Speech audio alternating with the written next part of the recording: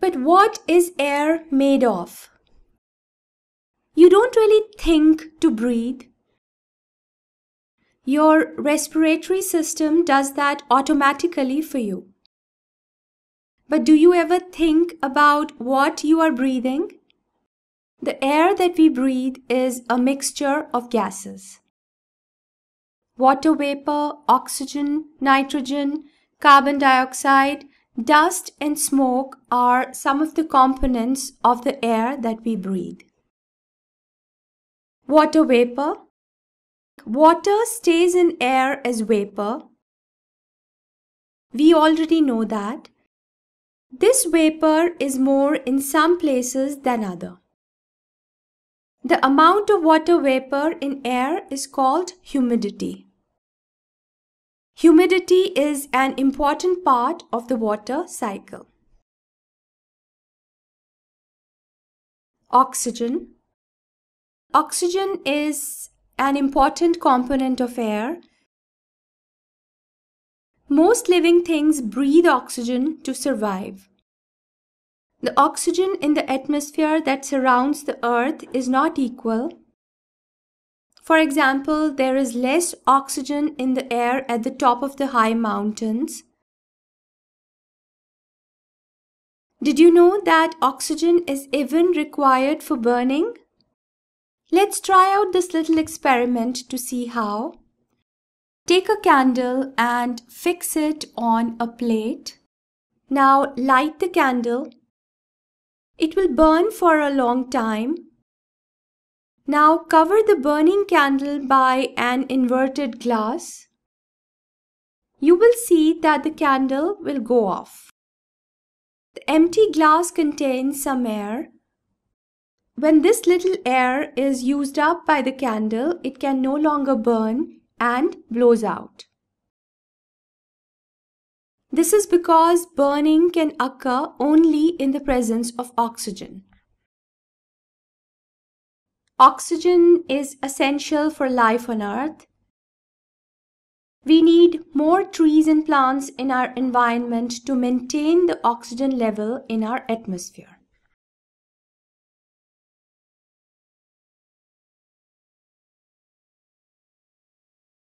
Nitrogen. About 78% of the air that we breathe is made up of nitrogen.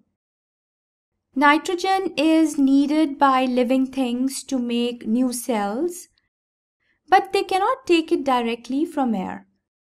Certain chemical processes are required to convert the atmospheric nitrogen into forms usable by living organisms. Carbon dioxide. Carbon dioxide makes up a small component of the atmospheric air. Plants and animals take in oxygen for respiration and give out carbon dioxide. Carbon dioxide and a few other gases are also produced when plant and animal matter burns. Carbon dioxide is an important atmospheric gas that helps to absorb the heat irradiated by Earth. But more carbon dioxide emitted by vehicles and industries is very bad for our atmosphere. We need to control pollution and plant more trees to maintain the carbon dioxide levels in the atmospheric air.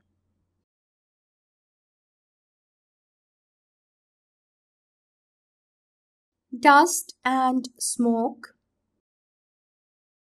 Smoke contains a few gases and fine dust particles.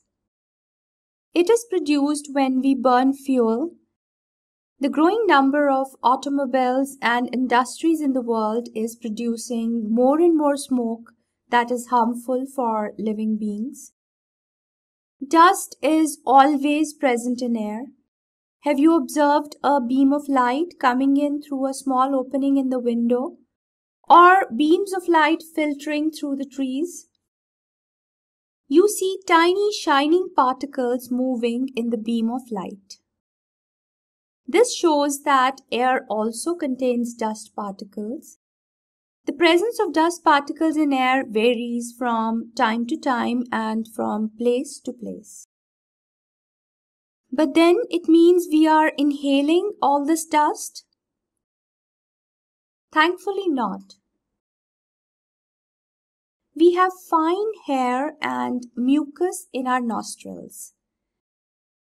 These hair and mucus filter the air that goes in as we breathe, preventing the dust particles from entering into our respiratory system. So, we have learned that air contains some gases, water vapor, and dust particles. But it's only nitrogen and oxygen that make up 99% of the air. The remaining 1% is carbon dioxide, and a few other gases, water vapor, and dust particles.